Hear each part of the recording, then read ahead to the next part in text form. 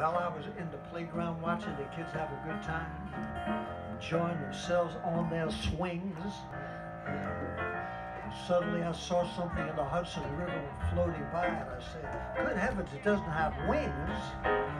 It looks like a falcon, it looks like a dinosaur or some type of non-fish.